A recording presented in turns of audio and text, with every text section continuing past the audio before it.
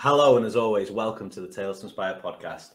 I'm your host, Chris Patel. And before we begin today's podcast, I have a few really important things to talk about. So, first of all, we've got our live workshops that are going on in schools throughout the whole of the UK.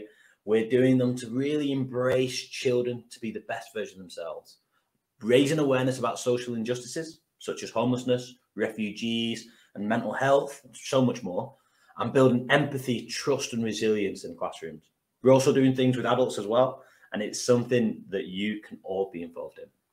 We also have a Patreon page where you can donate as little as £2 a month to this inspirational movement and help us grow to really impact people's lives. So, before we begin, that's that. And now I guess we can get straight in to our person for today. So, our Tales to Inspire guest today is Aaron Lee. Now, Aaron shares his story about wanting to be a fireman, but his journey didn't really go in that direction.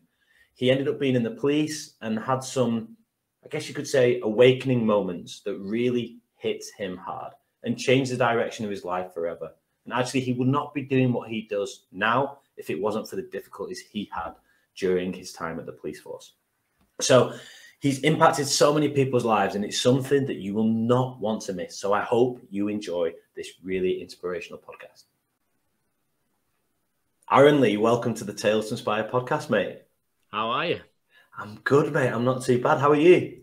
Yeah, good, good. Uh, busy, stressed, and but I'm all right. There's so much going on for you at the moment, isn't there? Yeah, just uh, organising the game. It's just a 24 7 job. So, yeah, it's taking over my life a little bit. So, you better be good at football. Well, I will tell everyone what's coming up later, but you better be training in the football side of things as well, to be fair. Um, but, Aaron, do you want to introduce yourself, who you are, where you're from, and we'll just go from there? Yeah, so I'm Aaron Lee. Uh, I'm a firefighter and I'm currently based at Oldham Fire Station uh, and I live in Milnrow. So, based in the Northwest, and where did it all begin? Brothers, sisters, what was your childhood like? And like, tell us a little bit about the beginnings. I had a really good, really good childhood, really good upbringing. Um, myself, my dad, my mum, and my older brother, um, who I'm still in contact with. Um, yeah, I had a really happy childhood. Uh, lots of football, loads of friends really close knit family. Um, yeah, good, good, good memories of my childhood. What did you want to be? What was it as a kid? Did you want to be a firefighter for as a kid, or was it the football? What, what did you want to be? Yeah, I think I think to start with, it was the football. Like I was obsessed with football. I was out with my older brother and all his mates, and they used to just bang me in net every time because I was the youngest. And it's like just you just take it, don't you? Um, and then I think I guess as I as I got into school, um, and started thinking properly about my career choices, I I just was drawn to the idea of being a firefighter.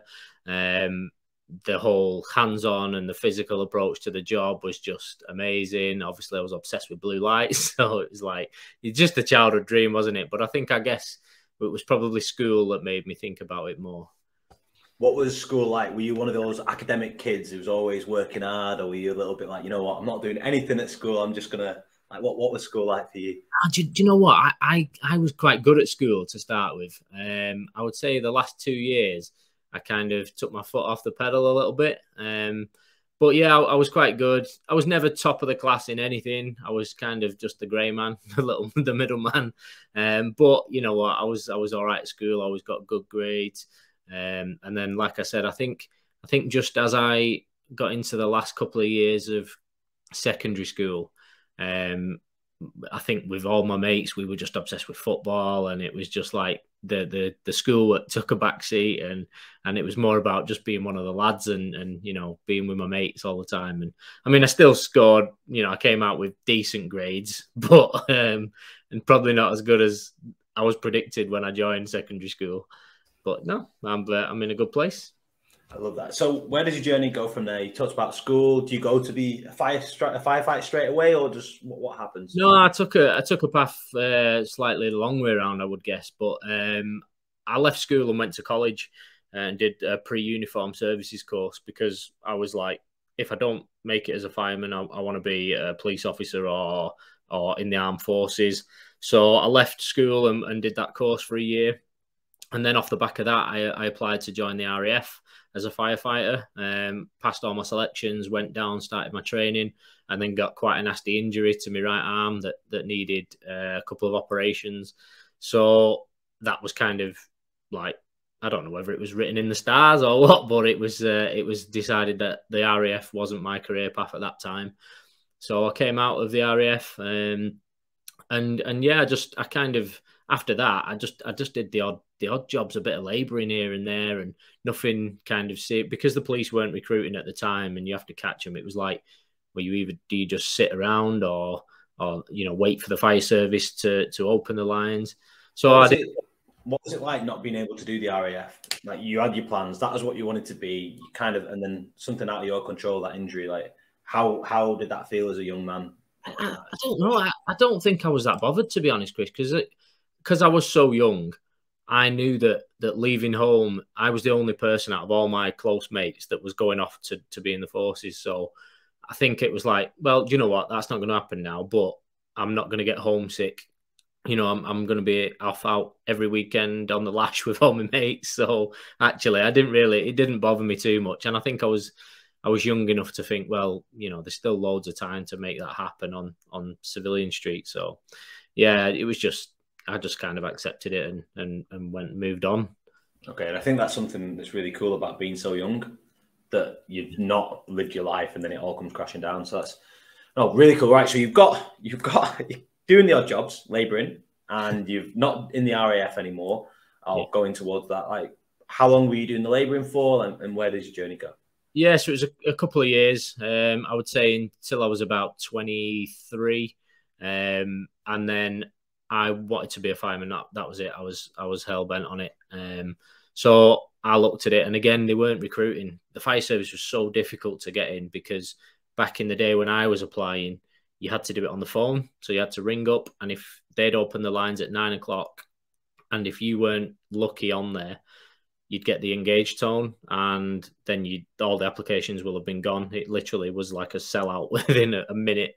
Um, so you know, it was one of them. So I, I just I bought my time and, and I waited, and the fire service weren't recruiting, but I had a friend um, that I'd met who was in the police and said, "Oh well, we're recruiting. Like, why don't you come and join us?"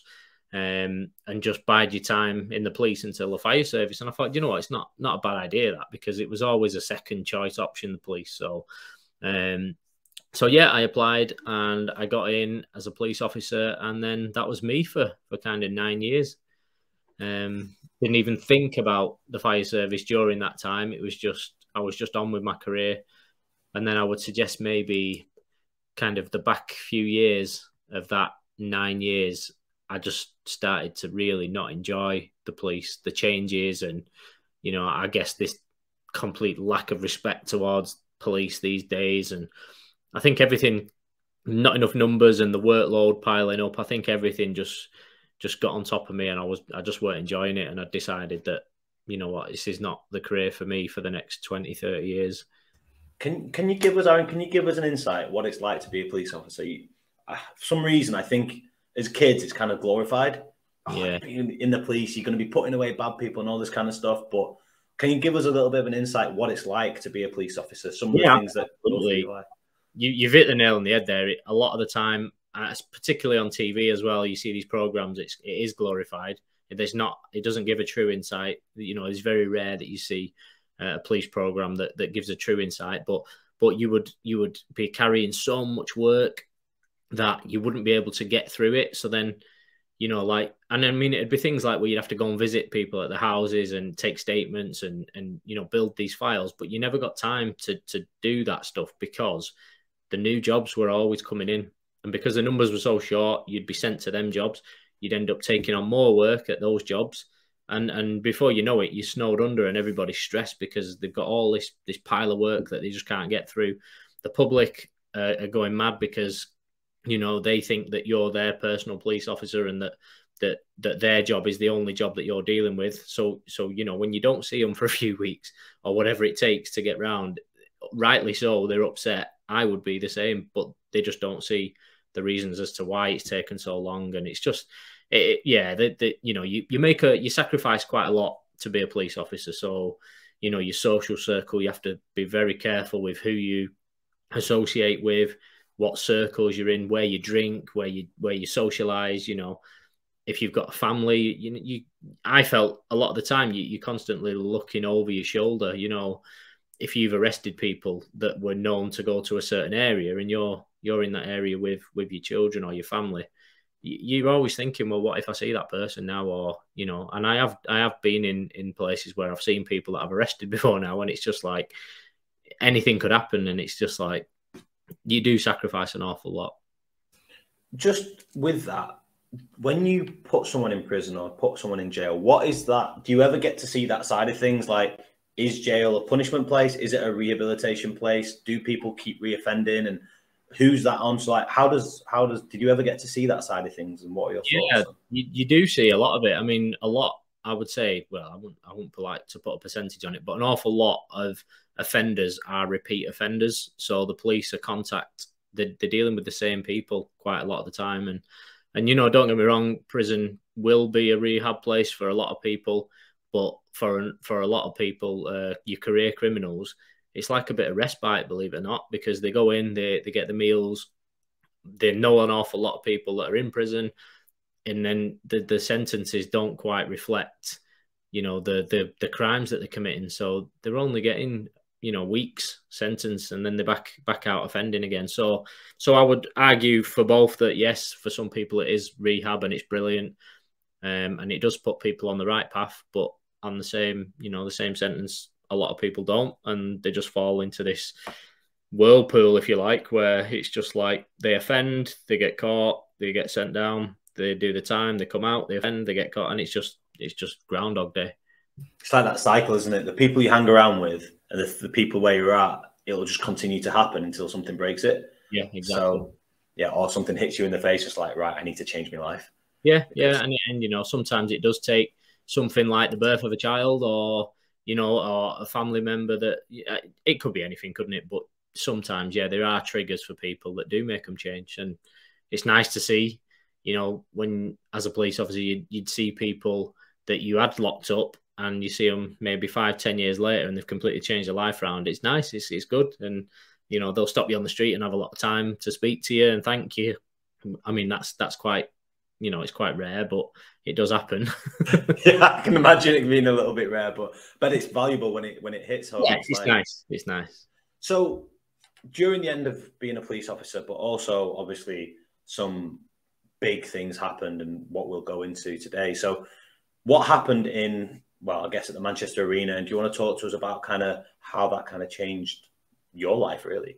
Yeah, so I mean, a lot of people are familiar with what happened at the arena, but for those that that don't, um, in on 22nd of May, um, a, a terrorist uh, walked in with a suicide bomb uh, strapped to him, and that was something that he prepared at home. Uh, had done lots of wrecking of, of the building and the venue, and had chosen a night of an Ariana Grande concert, uh, which was primarily filled with families and young people and uh, the suicide bomber had gone into um, like a it's like an area that the, the people will come out of the concert. Um, it's known as a city room, but it's it's just like a holding area where people will have to pass through to get out of the arena.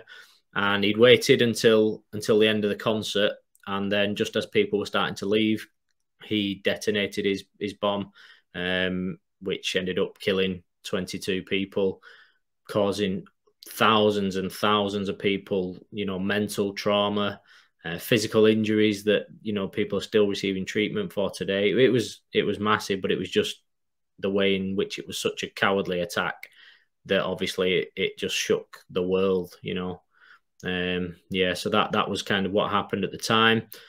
Again, I was a police officer, so that particular night I was at home off duty, waiting to start an early shift the next morning and I was in bed and then the bomb had gone off and I got a phone call and it was like the bosses at work and they were like Aaron it's been a massive incident in the city I need you to come in and it was like that has never happened to me before that you know something big has happened so literally got out of bed throwing my uniform on but I had the telly on um, and reports were coming through the media that it was an explosion um, that they believed there were fatalities. They didn't know how many, but they believed it was caused by a speaker.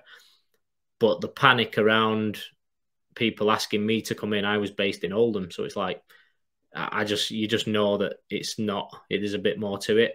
So literally got dressed as quick as I could, flew into work, um, and as I was arriving, there were a few of my friends off my shift had got the same call. We were all arriving together, and it was just a, a really eerie atmosphere. You know, as as we walked into the police station, we're normally taking the Mickey out of each other and having that banter, that laugh, and and everybody was just silent.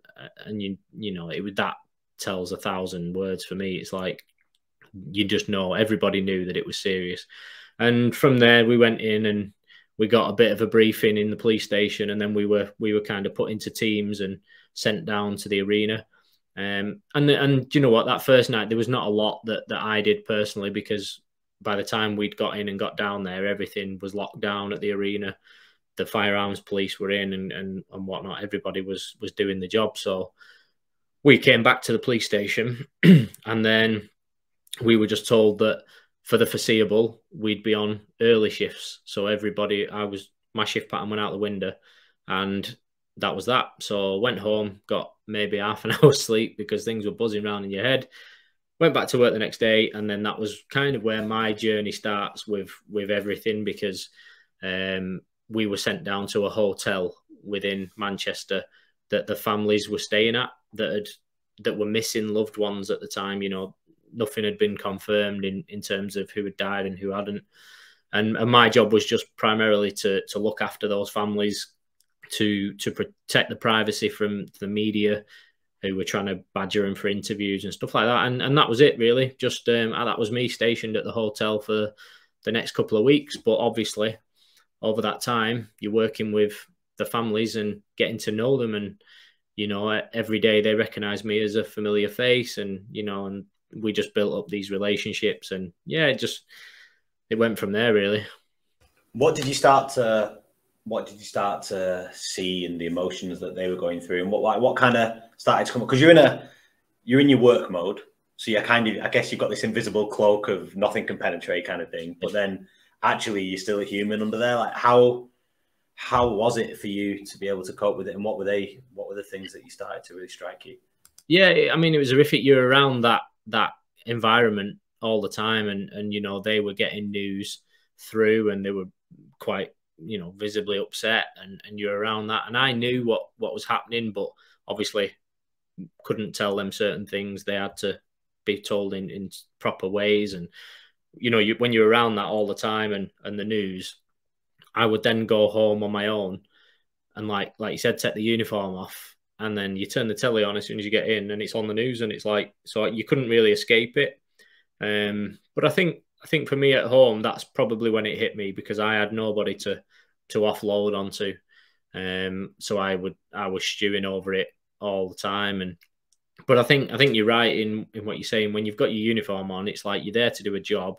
You try and keep your professional head on and your distance, and but it, you'd have to be a robot not to. You know, these people needed they just needed an arm around them, or they needed a hug, and they needed a, a laugh and a joke with you at that time. And you know that you just had to you you'd be a robot if you didn't feel that emotion um so yeah so that's that's kind of being around it all the time and that's where my my uh my head was at for a couple of weeks and it, it was difficult don't get me wrong you know i shed a lot of tears over that time because like i said you come home you put the news on and they're talking about Saffie Rose Roussos the youngest victim she was eight years old and it was like you just start to think wow you know she went to a concert to see her idol and and you know that happened to her. It's just it's just horrific isn't it? Honestly it is and even to think about it just makes you so sad doesn't it that someone could do such a thing like yeah. oh man. So you've done this this this you're you're in there you're in that environment.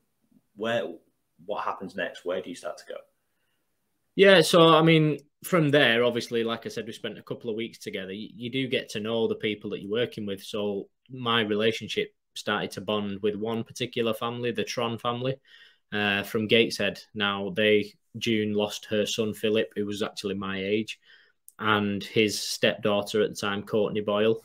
So they, you know, they lost two people of, of their family, but but I spent a lot of time with them, and just the relationship blossomed. And I spent, you know, the weeks afterwards when when I'd gone on to other roles, we kept in touch every day, and over years and years, that relationship just built up and built up. And I actually then started to be introduced to to other families. Um, and again, that relationship, you know, just built as a friendship more than anything. Um, and we've kept in touch pretty much every day to, to this day now. You know, it's it's amazing, and and I think just keeping in touch with them is is what kind of led me on to to doing what I do.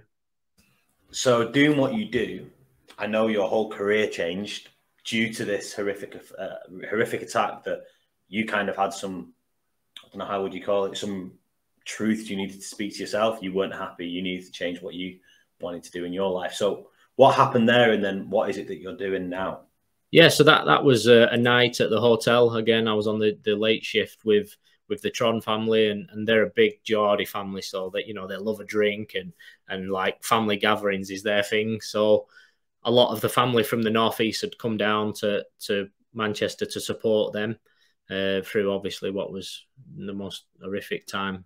And one night we were sat in the hotel, so we had a big table, all the family, everyone's round, and and June, bless her, kind of put her arm around me and just said, "Look, you know, are you happy in your work and do you, are you happy in life?" And and I, I had to be honest with her. I just said, "Well, no." I said, like in the police, yes, at this moment in time, I am happy because I'm doing what I joined to do. Like I'm helping in in you know when people really need you.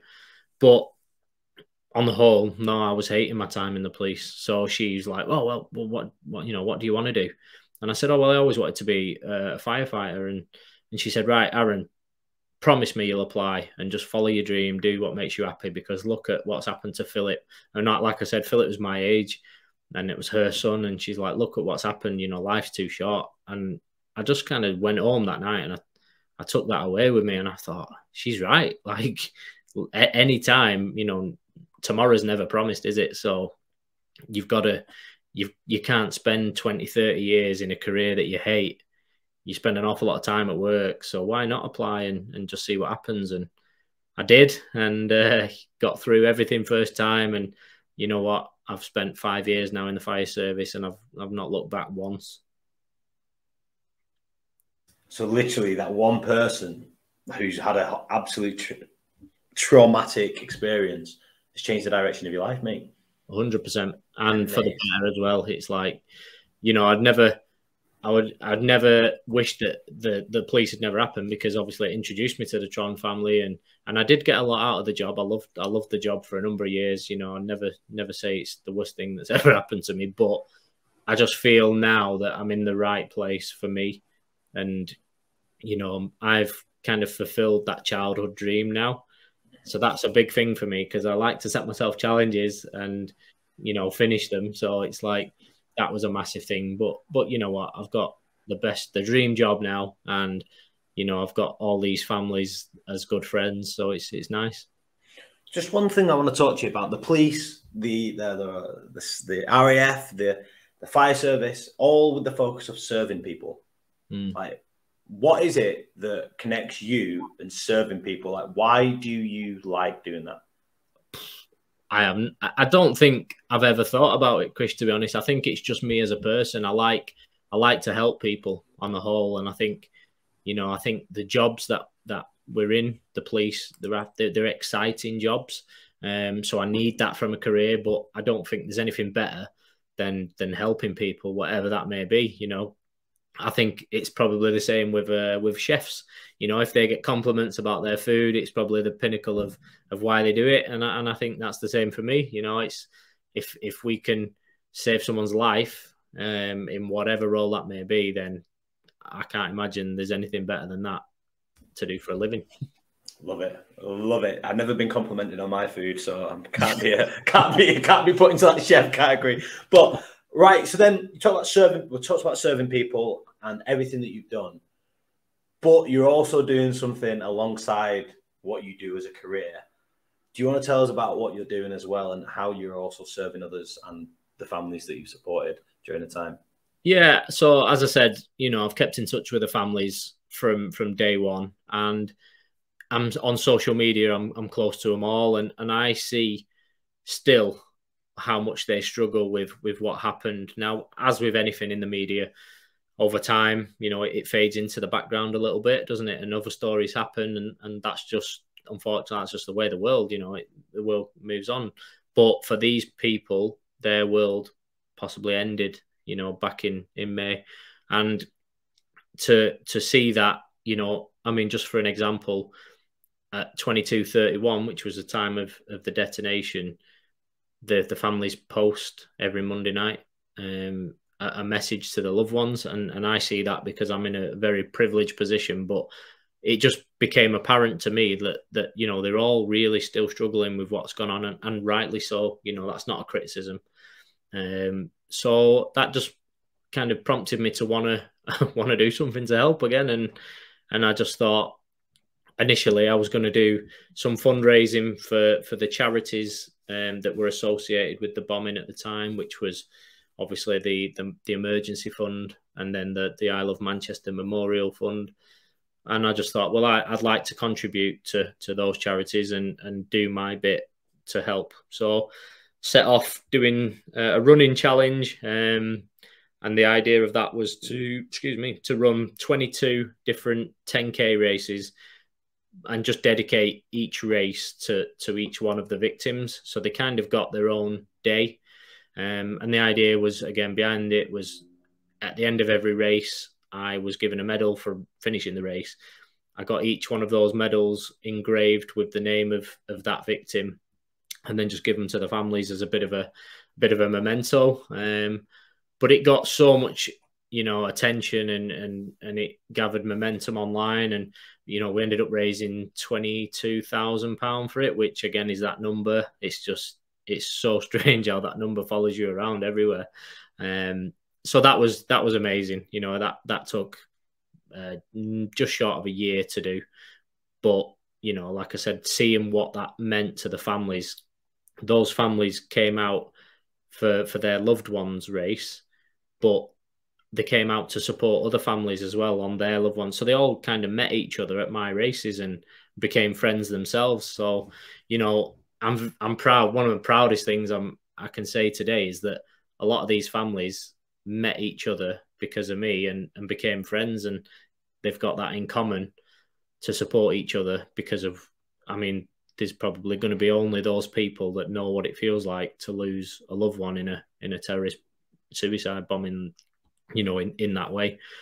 So yeah, a lot of good came out of that, and and I sat down again and after it, and I was like, that was it was nice to see that and to be able to do that and more so to to remember the victims by and so i wanted to carry on raising money um, for them so i because obviously i've done the running and I'd, I'd made a lot of friends in the running world i set up hive 22 which is a running club um, completely free of charge you know it's it's an online club and the idea behind it was that everybody could be a part of the club no matter where they were from in the world. You know, it's so easy to just go on online on Facebook, on Twitter, Instagram, and and you automatically part of that club. You know, there's there's no registration forms.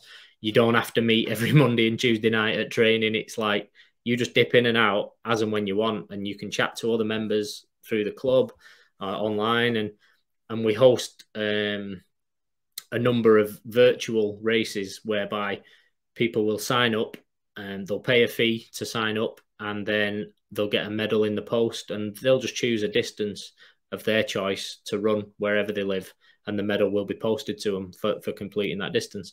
And and that's took off massive and you know we've raised again over the two years that the club's been going we've raised another 22000 so it's you know it, i think it's it's like a, a living memorial because a lot of the families are from all over. I know it happened in Manchester, but they're from all over England. Um, one family on in Scotland, so it's it's nice for them to. They don't have to come to Manchester to see a memorial site. They they can just be part of the club. You know, our running kit has actually got the names of the 22 victims on the kit. So it's it's like a living memorial, and believe it or not, a lot of the families are part of it. You know, they've all got the kit, they all go running part of it. It's just it's just a nice thing, and you know, long may that continue. So how do people? So people can just go to the social media, yeah, and they can just check it out. Yeah, just literally, it is a simple. We wanted to make it as simple as possible, and obviously registration form. We don't need any of that. It's literally an online virtual club. So you go and find Hive Twenty Two Running Club on Facebook, Twitter, Instagram, and you know start following the page. And there's community tabs. You can introduce yourself. You can talk to other members. We host um, like club runs. So every so often we'll have a club run where everybody's invited and we tend to do a little bit of a distance running, nothing too dramatic, usually a 5k. And then uh, and then we'll go for a coffee and some cake and stuff afterwards and sit down and just catch up. So it's a social thing as well as, you know, improving your fitness and, and your mental health, I suppose. So I love that. So that's the that's the the running side of things. But in April, you've got something really big coming up. And do you want to tell us about what you've decided to create and how that's going to go? Yeah, so like I'm not happy unless I'm making myself really, really busy. so again, uh, to mark the fifth anniversary, I've, I've done all the fundraising uh, over the past few years, but I always said I wanted to do something big to mark the fifth anniversary. Um, and again, I had an idea about another run that I was going to do, and just the logistics behind it were just ridiculous. Like my, the bosses at work was like, "There's no chance. You're going to need about a year off work to do it." So that that idea was scrapped. But then I started to think, well, what are my passions um, that I'm good at? And and obviously, all the way through my life has been football. And you know, I'm, don't get me wrong, I'm, I'm not a Premier League footballer, but I've I've loved to play football and be involved, watch it all the way through my life. So I started thinking, well, do you know what? why can't we do a similar version of Soccer Aid? It's so successful. You know, it's a massive thing. And arguably, Manchester, where we live, is the footballing capital of the world. You know, we've got Manchester United, Manchester City, two of the biggest clubs there. So that's where the idea started. And I, you know, I started to run with it. And as soon as I put it out there, the interest that it got was phenomenal. Like, you know, celebrities were jumping on it. We'd love to be part of it so the idea then just started to grow and grow, and now we've got uh, the game all set up, and it's we went into a meeting with Manchester City to the directors, and you know that took a while to get that meeting. Don't get me wrong, but we walked into the meeting room, and within five minutes, they were like, "Aaron, we love this. Like, we sold. We'll back it 100. percent Anything you need." So the, yeah, the game's being hosted at, at Manchester City's Academy Stadium. Um, it's dubbed Manchester Remembers. And the idea behind it is that it's going to be a team of celebrities against a team of uh, ex professionals. Got really big names involved in both teams. And yeah, we're going to have a game of football and we're going to sell tickets. And everything that we raise uh, on that day will go into uh, a fundraising pot. We've got a target of a hundred thousand pound and what we want to do with that is divide that between five charities that were set up by the families that lost loved ones. So there, there's only been five that the families have set up, but the work they do supporting young people and especially around sports and music is phenomenal. Like I've I've been very close in terms of seeing that over the past few years. So so we want to go to each one of them charities and give them, uh, you know, a healthy bursary and and continue the work they do, as well as obviously remembering the people that, that were involved and what happened five years ago. Mate, this is ridiculous. It's amazing, amazing how one person's determination, mate, is creating this whole thing. Oh, congrats, man! So, how do people get a ticket? How do people uh, join? Like, when is it? Like the date, the exact date? Like, if, if you want any info, information, mate. Yeah, cool. So, so Sunday, the third of April, uh, 2022. It's going to be played at the Manchester City Academy Stadium, which holds seven thousand. Um, and to get your tickets, if you follow us on the socials, again, we've got Facebook, Instagram, and Twitter. So you're looking at MCR Remembers, or if you put Manchester Remembers in, you'll find us. Um, the lineups are all on there. You know, we've got Big Sam Allardyce and Peter Reid, Joe Royle um, as managers. It's going to be phenomenal. We've got, you know, big, big names. Um, so, yes, you get your tickets. Adults' tickets are £20. Um, children and concessions are £10.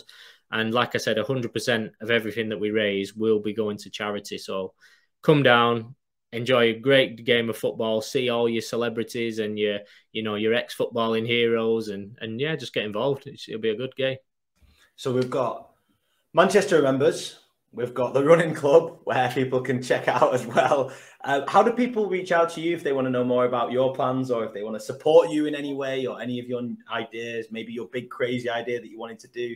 Um, how do people reach out to you, mate? Yeah, so I'm on the socials as well. I mean, I'd say the majority of my work goes through Twitter. So if you have a look through uh, Twitter at Aaron Lee, um, you'll find me no problem there. Um, and my DMs are always open and I'm happy to to talk to anyone really. If anyone wants to support me or needs any help or whatever, I I try my best. Just bear with me because there's a lot going on at the minute. If it takes me a day or two to reply, and, and this is so true, everyone. Just to, to check out and last week I delivered a workshop at a school to sixth form students in Wales. One of the kids was like, "I'm really nervous. I want to be a, a fire. I want to be in the fire service, but I don't think I can do it. Do you know any tips or know anyone?" And I was like, I'll introduce him to Aaron. And I literally introduced them on Instagram, and literally Aaron sent so many messages to this kid, and he felt so much better afterwards. So it's true. If you do send a message to Aaron, he will get back, um, but do bear with him because things are going to be getting a little bit crazy coming up. Yeah. But Aaron, this has been so much fun. I do have a quick fire round of questions for you. Let's go. Okay. Yes, Let's do it. Right. So I'm going to start a sentence. You're going to finish it. Nervous. I'm nervous. Anything could come out here. So, um, if you want to explain about it, feel free to as well. Okay. So it's not going to be so so much a quick fire. so yeah, well, the first bit can be quick fire. See how it goes. So, first one: life is about. Life is about being happy, being proud of yourself, and enjoying it. Mm, I love it. Work can. Work can either uh, make you really proud of yourself and happy, or it can, uh, well, I suppose it can make you quite sad as well. You have to choose your own path in terms of work, but it's a massive part of your life. So I would say definitely be happy in your work. I love that. It can maybe be like a burden or like a jewel. You decide yeah. which one. Love yeah. that. Um, helping people. Helping people gives you the most satisfaction and the world would just be a better place if everybody wanted to help each other and, and that's just as simple as that it's you know it, there isn't a better feeling than than being able to help someone. I love that. I've got two more questions on this They're a little bit different. So the first one is how much of what you're doing now is based on luck? And how much of it is based on your skills and natural talent kind of or determination however you want to do it like? I think i think there's a bit of both to be honest. I think there's an element but I, would say that it, a lot of it is driven, like you said earlier on in the interview, by determination and, and passion for what you're doing. And I think you make your own luck. You know, a lot of people might get knocked back for something, but then it's up to you whether you you try again or you just take that as the, the end of the story. So for me, you wouldn't believe the amount of knockbacks and and heartache that I've had through fundraising. It's very, very difficult. But if you believe in the cause and you're passionate about it, you'll you'll open them doors yourself. It's something that I think that's really important that you said is that determination that we often loads of us we think right I've got a plan and I'm going to do it and then things go off your plan and then you give up because oh, I got rejected or I can't do it. Yeah. You just said it like actually I just have a determination and not so much a plan to how to figure it out. No, if if you want something bad enough and you have that determination, you'll make it happen. You'll whatever that may be. If you just adopt that stance, then you'll you'll be fine. I love it. I love it. And the final question on this side of things is: if there was a government law, and the Aaron Lee law, and it was your rule, and everyone had to do it, um, what would that law be, and why? Oh wow, wow, that is a good one to finish on. Uh, I don't know about a law. I just, I think again, I just passionately uh, believe in in helping each other and, and standing up for for what's right. You know, I've had an awful lot of uh, what would you how would you describe? There's been a lot of, of bad stuff in the police that's that you see a different side of, of the world, but actually, a lot of those people, if they would have had that help and support and put themselves on the right track, then you know they might not have gone down there. So I would have to go maybe as cheesy as it is with with that kind of stance. Really, I love it. I love it. There's something that you talk about there as well is that we think people are we judge people as bad or good, hmm. but we forget that even people who are bad have been through something to become bad for what was looks. You know what I mean? For us to look at them as bad. Yeah, absolutely. It's a very, very vicious cycle because, you know, as children, children don't, you know, they're not born bad people. Nobody is born a bad person, but are they the environment that they brought up in and the values and, and stuff that they taught will ultimately shape the person that they become. Um, they have choices whether they want to stick with that or better themselves. And I think, you know, a lot of my experience in the police, I was very passionate about incidents involving children because the kids are just they just they have no no choice in the matter it's just it's just what they're shown and that's why they grow up to be sometimes the way they are but like you said you get the right support and uh, and and you know what? They know better they know worse off than, than me or you? I was looking at a stat the other day that said one in three children in the uk uh, born are living in poverty. And that support if you're living in poverty it's hard to get the support you need to to help you be the best version of yourself. And that's one in three. And i'm like one in three? I was like surely that's wrong. And it's mind blowing you know, can believe it can't you? Because like i said you and the thing is you get to a certain age once those children become adults and that's all they've known all their life they don't know how to step out of that that you know that life into into better social life. It's just it's just what they know, and you know they just get punished for it. And it's yeah, it's somewhere that cycle needs to be broken. It does, it does. And I'm with Tales Inspire and everything I do. I'm trying to figure out. It's, it's a massive thing. Determination, no plan, is somewhere that we have to change the system. Because if we just try and keep helping people, it'll always get to this. It'll always get. So how do we break that system? And yeah. I think I've kind of come to the conclusion that it's individual support for individual people. So yeah. it's not, oh, we're going to help. If I've got depression, you've got depression, we we both need to be supported and treated differently. Yeah, it's not a one cap fits all, is it? Boom, which means that we have need to have more support and more support workers, and, and it has to be based off care and not money. Yeah, absolutely. I, I think for me, I think a lot of uh, my stance on a lot of mental health and stuff like that is that we need to make it more socially acceptable and, and there has been you know right strides for that but i just think like like notoriously for example men were were known for bottling everything up and they couldn't you know they couldn't be seen to be weak and, and all that those fake stereotypes rubbish. We need to make it actually we need to make it fashionable and let's say more attractive for people that that do seek help and admit. And and you know celebrities and stuff play a big part in that and and it's good to see them coming out. But i think over time you know once it's it's actually made more attractive and and i hate the word but like fashionable people will it'll just be it'll i don't know it'll just be there'll be a completely different stance on it in my opinion yeah because and that's where there's more sheep than there are lions. There's more people who do what others do as opposed yeah. to do what you do and stand up and go go off it on your on your own. Yeah, no, that's right. So once that culture changes, then the sheep will start to the people will start yeah. to follow the culture. Exactly. So love it. So my final two questions, Aaron. Before I get into that, I just want to say thank you, mate. Just oh. not even thank you for this. Just thank you for doing what you do, mate. It's incredible. Get in there. Can't wait to put a ball through your legs one day and absolutely like. You know that's not hard. That neither. I've got legs that are about five foot and a brain that's ten seconds too slow. well, you'll be surprised how bad I can be sometimes. But um, mate, just thank you for everything you're doing. You're impacting lives and you're doing it out. You're doing it voluntarily. You know, it takes a lot of effort sometimes to be good, mm. and it takes no effort to to to achieve nothing. True. So you're doing amazing things, mate. Oh, buzzing, absolutely buzzing. Last two questions that I ask every Tales to Inspire guest. Okay. First question: What is your definition of the word inspire?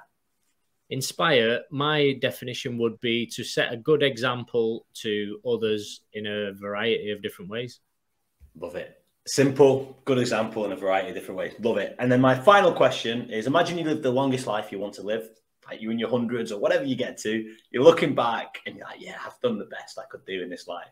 What is it that you want to have achieved that has the biggest impact or you're most proud of? I think to to leave behind uh, some kind of legacy. It doesn't have to be anything major, but I think if I can carry on the the morals and the values that I were brought up with and pass them down to to you know future generations of family, then then that I'm happy with that. I love it. He's so honest, mate. So down to earth. Aaron Lee, thank you so much for being on the Tales and Inspired podcast, Chris. mate. Cheers, thank pal. You. Isn't Aaron Lee just the best, most incredible, heartfelt person you've ever met? I can't believe how inspiring he is and humble. His ego was nowhere to be seen. He's doing something to really impact people's lives from a genuine level. He talked about a few things, but also remembering that tomorrow isn't guaranteed. Tomorrow is not guaranteed. So, what are you going to do today? If you're not happy where you are, how can you change that? Don't get caught up on yourself and how the plan, I guess he said, right? But just have the determination, the determination to be able to change your situation. And Aaron represents the fact that we can all change our situation and impact other people's lives. Service and helping people are key to the story that Aaron shared. And that's something that we can all embrace a little more. So I just want to say thank you as always. Keep on checking out everything that we're doing. Please check out everything Aaron's doing via the links that we've put in the description. And as always, have a wonderful, inspirational week, remembering to inspire that person in the mirror. Take care and have a great week.